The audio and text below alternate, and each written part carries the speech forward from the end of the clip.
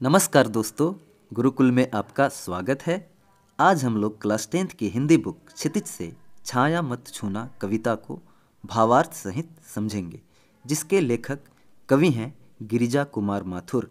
इनका जन्म सन 1918 में मध्य प्रदेश के गुना में हुआ। छाया मत छूना कविता के माध्यम से कवि यह कहना चाहते हैं कि जीवन में सुख और दुख दोनों की उपस्थिति है, यानी कि जीवन में सुख और दुख दोनों आते हैं। कवि का मानना है कि जो बीत गया, उसके बारे में सोचने से कोई फ़ायदा नहीं। बीता हुआ समय यदि अच्छा हो तो कई लोग उसकी खुशनुमा यादों में अपना समय बर्बाद करते हैं। बीता हुआ पल यदि बुरा हो तो लोग उसके बारे में सोच सोच कर अपना समय खराब करते हैं। इससे कोई फ़ायदा नहीं होता। इसे सोचकर और भी दुखी हो जाते हैं। उसके बदले यदि हम अपने प्रेजेंट वर्तमान की तरफ़ ध्यान दें तो हमारा आज भी ठीक रहेगा और आने वाला कल भी ठीक हो सकता है। इसलिए भूतकाल यानी बीते हुए कल को भूलकर हमें अपने वर्तमान की ओर ध्यान देना चाहिए। तो शुरू करते हैं। छाया मत छूना, मन होगा दुख दूना। छाया से क्या अभिप्राय है यहाँ कवि का? छाया मतलब भ्रम। जो जैसे छाया हम छूते हैं तो वो हमारे हाथ में नहीं आती। जब हमारी परछाई धूप से हमारी परछाई बनती है तो अगर उसे कोई छूने की कोशिश करे तो वो हाथ में नहीं आती। इसी तरह बीती हुई यादों को कभी कह रहे हैं कि कभी याद करने की कोशिश मत करना, क्योंकि जो बीत गया है, वो समय हमारे हाथ नहीं आएगा, वो चीज़ें हमारे हाथ दोबारा नहीं आएँगी। मन होगा दुख दूना मतलब हम अगर उनको बीती हुई बातों को याद करेंगे बीती हुई बातों को याद करने से मन में जो दुख है, वो दूना हो जाएगा। दूना मतलब दुगुना, यानी बढ़ जाएगा। जो पहले से हमारे मन में दुख होता है, उन्हें याद करने से, जो हमारे से छीन गई हैं, उनका दुख हमारे मन में फिर से दुगुना हो जाएगा और भी बढ़ जाएगा। जीवन में है सुरंग सुधियाँ सुहावनी, छवियों की चित्र गंध फैली मन भावनी। यहाँ कवि कह रहे हैं कि जीवन में जो है सुरंग मतलब रंग बिरंगी सुधिया मतलब यादें, सुहावनी जो अच्छी लगती हैं। कवि कह रहे हैं कि जीवन में रंग बिरंगी यादें होती हैं। पहले जो बीत गया है जीवन, उसमें हमारी रंग बिरंगी यादें थीं, जो सुहावनी भी लगती हैं, अच्छी लगती हैं हमें। अगर हम उनको याद करते हैं तो हमें वो अच्छी लगती हैं। छवियों की चित्र गंध फैली मन भावनी जब हम पुरानी यादें अपने मन में लाते हैं, अपने दिमाग में लाते हैं तो उन यादों के अंदर जो व्यक्ति हमारे साथ जुड़े होते हैं, उनकी छवियाँ, उनके पिक्चर्स हमें दिखने लग जाती हैं, उनके चित्र दिखने लग जाते हैं और ऐसे लगता है जैसे उनकी सुगंध भी हमारे आसपास फैल गई है। वो जैसे हमारे पास ही हैं अभी और मन भावनी भी लगती हैं। ये मतलब कि मन को अच्छा भी लगने लगता है। अगर हम पुरानी बातों को याद करते हैं तो उनका दृश्य भी हमारे सामने आने लग जाती है। उनकी गंध भी जो है हमारे आसपास महसूस होने लगता है और मन को भी अच्छा लगने लग जाता है। तन सुगंध शेष रही बीत गई यामनी, पर अब ये सुगंध ही शेष रह गई है मतलब बाकी रह गई है। बीत गई यामनी मतलब वो रात अब अब वो प्यार भरी रात जो कवि ने अपने प्रियसी के साथ बिताई थी, वो अब नहीं है, बीत गई है। बस अब उसकी याद ही रह गई है, इसलिए कवि कह रहे हैं, सुगंध ही शेष रह गई है, बाकी वो रात तो बीत ही गई है। कुंतल के फूलों की याद बनी चांदनी। कुंतल मतलब कुंतल मतलब बाल, कवि के प्रियसी के बालों के अंदर जो फूल लगे हुए थे, उनकी जो याद है, वो चांदनी को देख कर आती है। चांदनी को जब भी देखते हैं तो वो बालों के अंदर जो फूल लगाती थी, कवि की प्रियसी वो कवि को याद आ जाती है। अब वो चांदनी बन गई हैं। कवि ऐसा महसूस कर रहे हैं कि वो फूल ही जो है, वो चांदनी बन गए हैं। भूली सी एक छुअन बनता हर जीवित क्षण छाया मत छूना, मन होगा दुख दूना। अगर भूल से भी कवि कह रहे हैं कि थोड़ा सा भी अगर उस पुरानी बात को मैं याद कर लेता हूँ, छू जाता हूँ उन पुरानी यादों से तो बनता हर जीवित क्षण। लगता है कि अभी जीवित ही सामने वो पल आकर खड़ा हो गया है। क्षण मतलब पल, वो पल जीवित होकर, कवि के सामने जीवित होकर आकर खड़ा हो जाता है और फिर दुख देने लगता है, क्योंकि वो जो लोग हैं, वो अब कवि के साथ नहीं है, इसलिए उनकी जो याद है कवि को दुख देती है। इसलिए कवि कह रहे हैं, पुरानी जो बातें हैं बीत चुकी, जो अतीत पास्ट की जो बातें हैं, उनको कभी भी याद मत करो, छाया मत छुओ, इससे मन के अंदर जो दुख है, बढ़ जाएगा, दुगना हो जाएगा। यश है या न वैभव है, मान है न सरमाया, जितना ही दौड़ा तू, उतना ही भरमाया यहाँ कवि कह रहे हैं कि चाहे हम कितना भी यश पाले कितना भी वैभव पाले, मान पाले, सरमाया मतलब पूंजी पूंजी पाले, लेकिन मन के अंदर जो है, वो हमारे कभी भी संतुष्टि नहीं होती, कभी भी तसल्ली नहीं होती, चाहे हम कितना भी वैभव पाले, कितना भी मान पाले, आखिर में, अंत में हमें ऐसा लगता है कि हमने कुछ नहीं पाया, हमारे पास कुछ नहीं है। जितना ही दौड़ा तू, उतना ही भरमाया, यानी कि हम इन चीज़ों के पीछे ही सारी उम्र दौड़ते रहते हैं। और फिर हम जो हैं, भ्रम में पड़ जाते हैं कि हमने ये सब कुछ भी पा लिया। फिर भी मन के अंदर शांति क्यों नहीं है? भरमाया मतलब हम जो है, भ्रम में पड़े रहते हैं। चाहे हम कितना भी चीज़ों के पीछे पड़े रहें, फिर भी हमें जो है, मन की शांति नहीं मिलती। भ्रम में ही रहते हैं हम। प्रभुता का शरण बिंब केवल मृग तृष्णा है। हर चंद्रिका में छिपी एक रात कृष्णा है।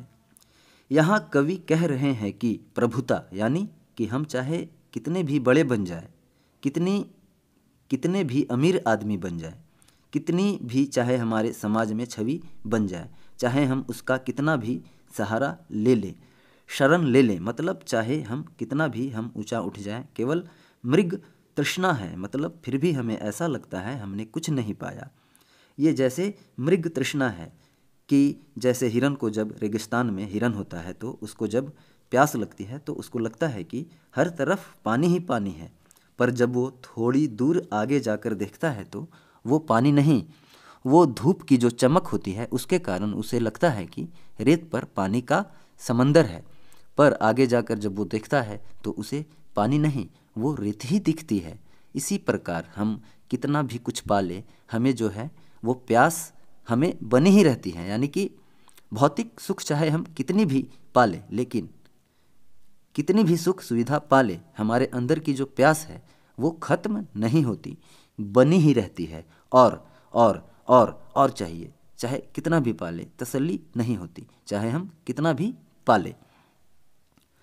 हर चंद्रिका में छिपी एक रात कृष्णा है, यानी कि हर रोज़ तो चाँद निकलता ही है। और हर रोज़ जो है वो चंद्रिका, चांदनी दिखती है। चाँद की तो एक न एक दिन अमावस्या भी आती है। कृष्णा मतलब अमावस्या की रात, अंधेरी रात होती है, जिसमें रोशनी नहीं होती। यानी कि कवि के कहने का अभिप्राय यह है कि रोज चाँद खिलता है, पर एक दिन नहीं भी आता। यानी कि सुखों के पीछे दुख ज़रूर आता है। ये तो नियति है। सुख और दुख आना जाना है। एक बार सुख आएगा तो दुख भी आएगा ही। जो है यथार्थ, कठिन उसका तू कर पूजन। छाया मत छूना, मन होगा दुख दूना। अब कवि कह रहे हैं कि जो तुम्हारा आज है, सत्य है, सच है। कठिन मतलब कठोर, जो तुम्हारा इस टाइम जो तुम्हारा टाइम अच्छा नहीं चल रहा है। तो फिर तू उसको स्वीकार करो। पूजन कर मतलब स्वीकार कर, उसका सामना कर, उसको फेस कर। छाया मत छूना, मन होगा दुख दूना। और पिछली बातों को याद करके जो है वो अपने मन को और दुखी मत कर कि पहले मैं सुखी था, पहले मेरा इतना अच्छा टाइम चल रहा था। अगर इस टाइम तेरा टाइम अच्छा नहीं चल रहा, या तू अब दुखों से घिरा है तो भी तू उसको भी स्वीकार कर और पिछली बातों को याद कर, अपने मन को दुखी मत कर।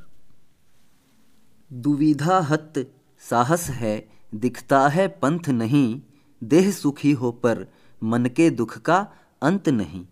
कवि यहाँ कह रहे हैं कि दुविधा में रहने के कारण साहस होते हुए भी हम जो हैं, वो कदम नहीं उठा पाते, क्योंकि हमें रास्ता नहीं दिखाई देता।